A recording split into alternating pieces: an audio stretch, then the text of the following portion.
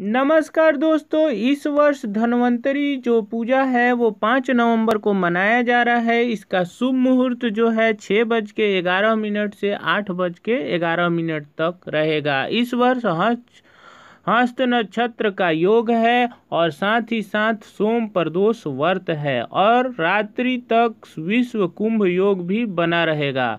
दोस्तों, इस वर्ष आप दीपक तो जलाते ही हैं। दाहिनी ओर अपने हरेक द्वार पर दीपक जलाना न भूलिएगा और अपने घर के हरेक कोने में समुद्री नमक उत्तर पूर्व दिशा में डालना न भूलिएगा।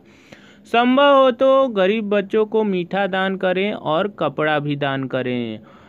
अब मैं आपको बताता हूँ धनवंतरी पूजा करते क्यों हैं। धनवंतरी भगवान कहा जाता है कि अमृत कलश लेकर समुद्र से निकले थे तो आप जो धनतेरस के दिन गहरा पात्र खरीदें तो ही भगवान ज़्यादा खुश होंगे।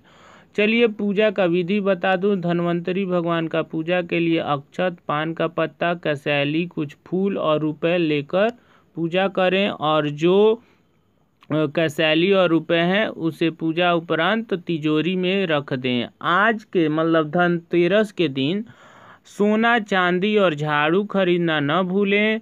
तो इसी के साथ जय हिंद, वंदे मातरम, देखते रहिए, बने रहिए जीआरएस टेक्निकल पर।